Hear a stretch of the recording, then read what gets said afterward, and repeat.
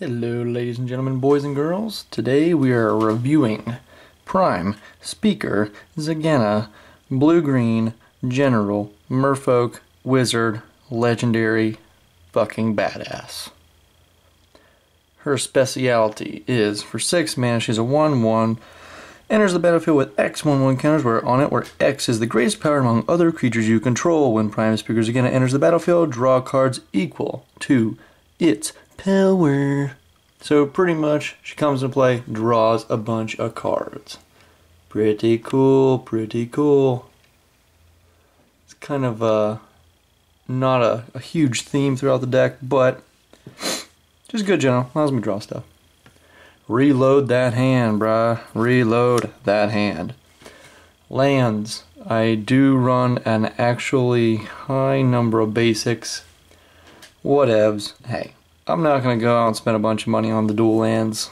They come at me at a good price, I'll pick them up. Other than that, I ain't gonna, I ain't gonna pay the uh, the full price. I run a, a, nice even split of eight and eight forests and islands. One, two, three, four, five, six, seven, eight. I was pretty lucky. I picked up exactly eight.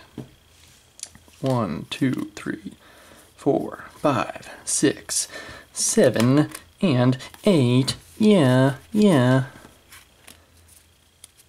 Alright, I do run a four bagger of cycling lands, the Tranquil Thicket, Slippery Karst, Lonely Sandbar, one is the loneliest number, and Remote Isle. It's also pretty depressing. Dryad Arbor, fantastic little man land. I run uh, a couple of different man lands just for the fact that I uh, I also run Nature's Will and it helps me to get that one little itsy bitsy damage to untap all my lands. It's also an excellent green Sun Zenith target. Mosswort Bridge, it's pretty good just all around the hole. I mean, get to play a, a free card for one mana essentially. All you gotta have is 10 power of your total crush of creatures. Evolving Wilds, meh, it's pretty much just a filler card. Thespian Stage, copy something. Vesuva, copy another something. Reflecting Pool, taps to add something. Mana Confluence, pay one life to add something. Breeding Pool, one or the other something, counts as two somethings. Commanding Tower, add one something equal to your color or your commander's something. Inkmoth Nexus, man, land, and infectual damage. I mean, it'll give you a really nasty infection if it touches you and it only takes 10 dirty, nasty infections for someone to die. That's fucked up. Fairy Conclave, it's a man land that flies for a very decent price, so we'll uh, Nature's Will it up. Treetop Village, pretty much same thing. Novijen Heart of Progress. We I use this every once in a while whenever I play things like Avengers Zendikar, put a free 1-1 counter on every other creature. Uh, I've also used it in tandem with Glen Elendra Archmage to keep that thing going. Not a huge combo, but I mean it's a it's a soft combo. I'm a, I'm not a combo man, but I will go I will go gentle on the combo. Mild combo. Meh. Anyway, Rogue's Passage makes something unblockable. Pick a big creature, make it go through. Opal Palace. This actually goes well with our general. I don't really care for this land, never use it, but it actually fits with uh, Prime Speaker Zegana. Reliquary Tower. I have a lot of draw power, and I find that oftentimes I just end up tossing half the stuff I draw. So, fantastic. It's a staple. Temple of the False God, staple. Ancient Tomb. A lot of people frown upon this land because it it hurts. It really fucking hurts. I mean, over time it'll deal 10 to 20 damage to you on on good days if you're using it a lot. But it also speeds you up so much. Now we get into our critters, starting with the one, the only Snapcaster Mage. Yeah. Snapcaster Mage allows us to uh, gain a little instant sorcery flashback. Fantastic, dude. Edric Spymaster Trest. Hey, helps people out drawing cards, shifts damage away from me, allows me to draw cards. Pretty good all around. Also notice it is both green and blue. I run uh, Fable of Wolf and Owl in here, which is pretty fun. Trigon Predator. Not one of my personal faves, but he's solid. He destroys things just by dealing combat damage. And he's a cheap creature. He's blue-green. I can tutor for both Edric and him with Green Sun Zenith. I mean, he's useful. Thada Adel. She is pretty much filler. Uh, when I thought of this deck, I was thinking of just general blue-green Simic good cards. I had no real theme. I kind of just slapped it together, played it the next night. Turns out it actually wasn't half bad. It was pretty damn good. I had a lot of fun with it. Thada Adel, she's another one of those cards where I just I have fun with it. She deals damage. I'll search your deck for an artifact, usually Sensei's Top, Sol Ring, something of that sort. You don't have it, I have it. Helps me, doesn't help you. Eternal Witness gets stuff back. Thassa, God of the fucking sea. She's indestructible. She's 3 mana. She's a 5-5. At the beginning of your upkeep, you scry 1 Fantastic. Two mana. Target creature you control can't be blocked this turn. Crikey. Clever Impersonator. One of my favorite cards. It's probably the about the only card I really liked out of Khans. I'm kind of a picky person. When I say I like something, I really, really like it. He's a creature. Comes into play as a copy of any non-land permanent. That could be Planeswalker, it could be anything. Hell yeah. Oracle Mul Daya speeds you up, takes those lands off the top of your decks. That way you're not drawing lands, you're drawing spells. Whenever I have her in my opening hand, I do phenomenal. It's pretty, pretty awesome. Mystic Snake. Who doesn't like them a little bit of Mystic Snake every once in a while? Blue, green, I could tutor it up. I also, I do run Deadeye Navigator, and I think maybe one time I actually used a little bit of Mystic Snake Deadeye Navigator stupidity. And that didn't last long, it didn't shut out the game. Nobody scooped. Did attract a little bit of hatred. But hey, it was fun. Glen Elendra Archmage, another little soft combo. I also run Master Biomancer, so them two run very well together. Her persist triggers her to come back into play, while Master Biomancer gets rid of that minus one, minus one counter, allowing her to do it again. Do it again! Phyrexian Metamorph. It's like Clever Impersonator, but not quite. It's pretty good. Master Biomancer. That's probably one of my favorite cards out of that whole stinking Gatecrash. Murkfiend Liege. I don't really like him, but he's both blue and green, so he triggers that Fable Wolf and Owl if I get it out. It's actually not very often I get that card out, but when I do, it's a lot of fun. He buffs up my other things a little bit, allows me to untap my other green creatures during each other player's untap step, which that can be good at times. Other than that, I really, I really didn't care for him. He's whatevs. He's, yeah, he's meh. Teferi, Mage of Zhalfir.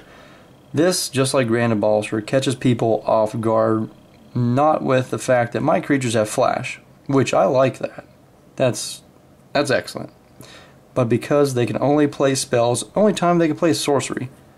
So nothing's getting countered, nothing's getting uh well on the stack I'm gonna path to exile your thing. Damn it! No, they don't get to do that, so they pretty much gotta uh, play stuff on their own damn turns. Did I mention creatures that flash? Fantastic. Acidic Slime, you know the drill. He's pretty good. Seedborn Muse, I literally paid, like, for this stupid card, I overpaid by like 10 bucks. I wanted it so bad. There was only one left in the card shop that I was nearby, and I wanted it, so I, I overpaid for it. But you know what? She's worth it. Five mana, all your permanents untap during each other player's untap step. All permanents. Creatures, enchantments, artifacts, planeswalkers, whatever. It untaps. It's amazing. My personal favorite, Prophet of Kruphix. Blue and green card, tutorable just like Seedborn Muse, Green Sun Zenith. It allows you to untap all your creatures and lands, so not permanents. You know what, 90% of the time, I only want to untap my creatures and lands. Okay, I may have a little piddly uh, mana rock or some other stupid artifact, whoop-de fucking do. I untap my lands, that's a huge deal. I get to play more shit. Fantastic. But not only that, but it allows your creatures to have flash. Again, this is a really cheap card. It's a cheap creature. It's only like a dollar or two. But you know what? In my opinion, it's got like $20 worth of sentimental value. There's just too much stuff you can do with it. I mean, you can literally, over the course of the next couple players' turns, dump your shit out. Why would you not like that? Because you're cray cray. Kamahl, Fist of Krosa. You know, looking at his picture, let's, let's check him out. He's he's really he looks upset. He looks angry. You know, I like to think of him as a little misunderstood. He's got big muscles. He obviously works out. He's a strong dude. He's got this mean look. He's bald. He shaves his head. Uh, he's probably not naturally bald. Looks like he shaves. But I think he's misunderstood. He's a really good guy. For six mana, he's got a decent body to him. But he turns people's lands into one white creatures. I've used him for, you know, you want a Wrath of God? Well, on the stack, I'm going to pop a couple of your lands by turning them into creatures. People don't often think of doing that, but, you know, it's like, hey, you want a Wrath? Fine. Well, you're going to lose a few lands. He can also end some games with his secondary ability. Pretty cool. Consecrated Sphinx, sweet Jesus. Dun dun dun. Public enemy number one. Somebody call the police. We're about to get burglarized with that guy. Six mana, flyer, draw cards on other people's turns. He doesn't never, ever, ever last too long. But, you know, if I can get six cards out of him, that's two turns worth of stuff. Hey, let him go to the bin. He's served his purpose. That's what all good soldiers do. Deadeye Navigator, that's some bitch. That's some bitch. He's done so much so much nasty stuff in his time. He's got a rap sheet a mile long. Officers, they spot him on the street, they arrest him on the spot. Not because he did something, but because he has the potential to do something. Better safe than sorry. Duplicant. Oh my god, it's like these two are acting in cahoots with each other. They uh, soul bond together, and for two mana, I can exile a creature. Non-token, non-token, of course, non-token. But that's a that's a pretty strong little synergy there. Same with the six slime. Uh, clever impersonator if I want to reset them. Phyrexian metamorph I want to reset them. A lot of different uses. Duplicant is a fantastic spot removal slash creature on a stick. Progenitor Mimic he copies things. Okay, doesn't target, he copies and makes more copies on your upkeep. Avenger Zendikar comes into play, makes a bunch of tokens. He's pretty much a staple for anything running green. Vorinclex Voice of Fucking Hunger. 7 6. Trample. 8 mana. Fucking legendary Praetor. One of only 5 Praetors. He's a badass. He's one of a kind. He's also very, very hated in pretty much any type of game you will ever play. But he will kick some ass if he's uh, left unattended. Jin-Gitaxias is Core Augur, pretty much the same thing. If I ever play him, which that's a rarity, he pretty much reloads my hand at end of turn. I discard a bunch of things, maybe doink one person to get them to dump their hand. That's about it. Alrighty, going into our mana rocks slash acceleration. We got Mana Vault, Sol Ring, Staple, Simic Signet. You don't get much more Simic than the Signet. Chromatic Lantern.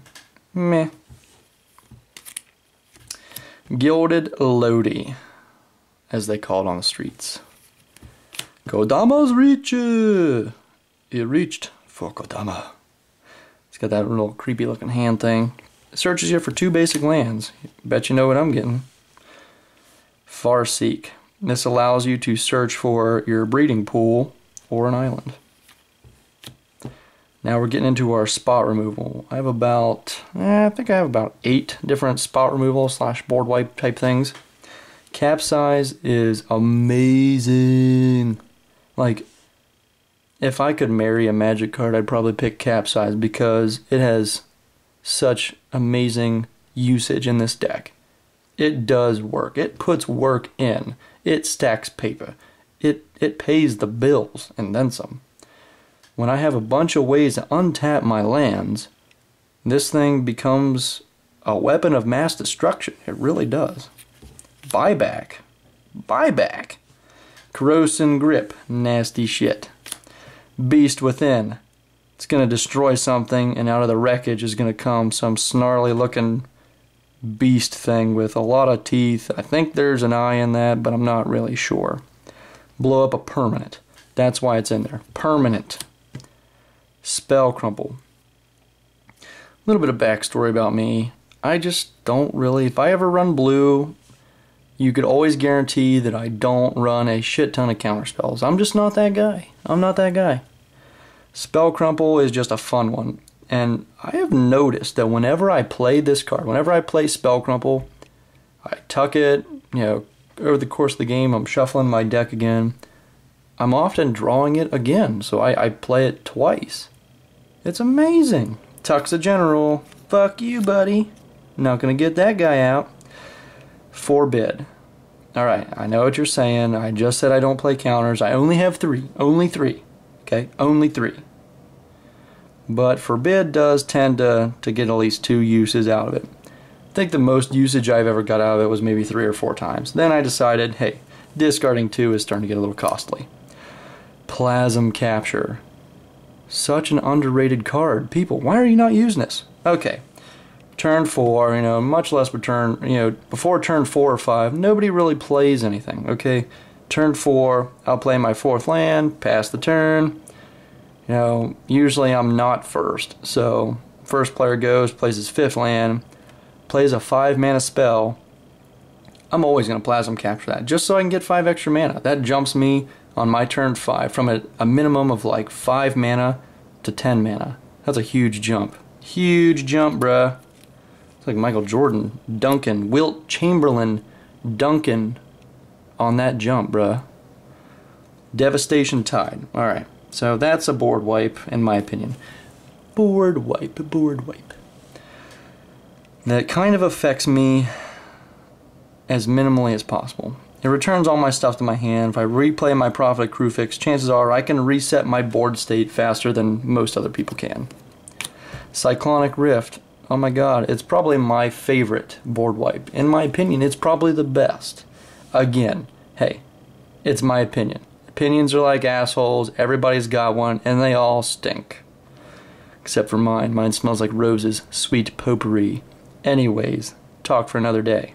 Cyclonic Rift, board wipe, okay, everything you don't control. Or if I'm really in a, a really shitty position, I can use it for two mana, pop one thing out. Okay, now we're getting into our deck manipulation, our draw power, and our tutors. Sensei's Top. Enough said. I really think that card should have been uh, legendary back in the day, but then again, people only really run like one ever. So I guess it's fair. Rhystic Study. What can't be said about this? Nothing, because everything can be said about it. Skull Clamp. It doesn't really pull a lot of weight in the deck, but it's also good. It's just, it's a useful thing. It doesn't cost a blue, doesn't cost a green, it's colorless. One mana, Draw two cards when something dies. So, eh, things are gonna die. That's that's the name of the game, bro. Things die. Shit happens. Draw two cards. Cream of the crop. I really like this card. All right. It's very underrated and it's in a very very cheap card. It's very inexpensive. Two mana to cast it. Whenever a creature comes into play, look at the top X cards of your library, put one on top and the rest on the bottom. Basically, it allows you to sift through your deck and put the card you want to draw on top. You know, when you run Planeswalkers, say Garruk, I have two Garruks in here. Primal Hunter, my personal favorite. Plus one, put a 3 3. cream of the crop trigger, look at the top three, leave one on top, put the rest on bottom. That's digging three cards. That's excellent. Free digging. Doesn't cost you anything. Free digging. Just cast creatures. And even, you don't even have to cast them. Just put them in play. Fuck it. Tooth and Nail. It's a tutor. What I search for, meh. Nothing in particular I go for. I try not to be a total cheese ball and, you know, flash out like Duplicant and Deadeye Navigator, Mystic Snake, Deadeye Navigator, uh, Master Biomancer, and Glen Elendra Archmage. I try not to do that. I just tutor up whatever I need at the time. Chord of Calling. I'm not really partial to Chord of Calling, but let's look at the facts. It's an instant. It's got Convoke, and it slaps a creature right into play. That's three props I know uh, three green's a little steep, but really, it's it's not. It's not that bad. Convoke really helps. Green Sun Zenith, fantastic. Sword of Feast and Famine. I don't run a lot of swords in this deck. Just this one mainly because it allows me to untap my lands. That's all I care for. That's why I run the man lands. I will equip frickin' Fairy Conclave for one turn just to get the untap. Don't care. Want that untap. I'm gonna get me that untap. Lightning Greaves, you know, it's good. Whisper Silk Cloak, good for some dedicated damage, especially when I want to get that untap, whether it be from the uh, sword or um, that dumb thing? Nature's Will. All right, now we're kind of getting into that uh, nice, good old fashioned jank pile. First off, we got the Rite of Replication. Let's replicate, replicate, replicate. Spitting image, like replicate, but I can dump it if I have too many cards in hand, which I frequently do, and then retrace it by discarding a land. It's cool. It's blue-green. It's cool. Garruk Wildspeaker. Not my favorite, but he allows me to untap my lands, put out creatures. Any kind of planeswalker is pretty much just value. Free abilities. Primal Hunter, excellent. I've never ulted him. I've ulted uh, Wildspeaker a few times for that little overrun ability, but basically, he's he'll put out a creature if I need him to, but if I throw him out there and minus three just to draw a bunch of cards, for example, if I have Deadeye Navigator out there, just want to draw cards, he's five mana, minus three counters, draw five cards. Five mana, five cards. That's good in my book. Fable of Wolf and Owl. I really don't push for that. I used it once the other day, like two days ago, and it just reaffirmed my love for it. It's a cool card. It's fun to play with. It puts out free tokens for whenever you play a spell. I mean, that's great. Praetor's Council. That and uh, Eternal Witness are the only two ways I return stuff to my hand. The main reason I chose this, because it says, Exile Praetor's Council, you have no maximum hand size for the rest of the game. That's excellent. No maximum hand size. I'm drawing a shit ton of cards. It's huge for me. Leyline of Anticipation. That gives all my stuff flash.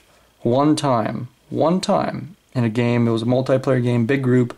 I got the ley line in my opening hand, and by turn four, I believe it was uh, Seedborn Muse.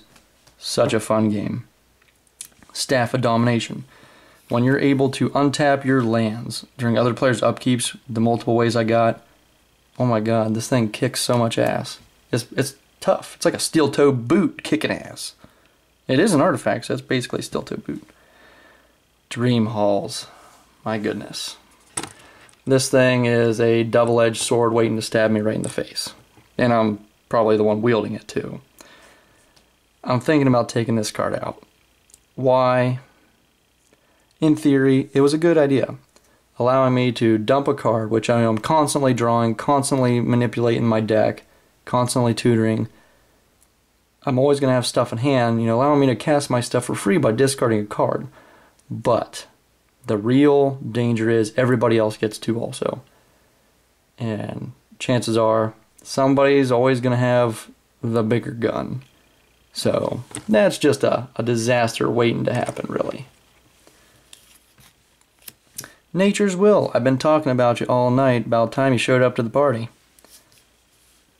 And then finally, Blatant Thievery. This little card is super fun. The more people in the game, the merrier. The more stuff you steal. And it's permanent. I mean, you steal it, it doesn't end at end of turn. Any permanent. I mean, even if somebody doesn't really have anything out, I'll take a land. More often than not, my play groups they they run a lot of the uh, the balance lands, like say uh, the Selesnya one that tap you put in play tapped, return a land you control to your hand, tap it at a green or a white. I'll take that. Sure, why not? Give me two extra mana. So, ladies and gentlemen, boys and girls, that is my Prime Speaker Zegana EDH deck. Super fun to play, no real general theme. I encourage you, please give her a try. She reloads hands, what more do you want? And as always, stay classy, San Diego.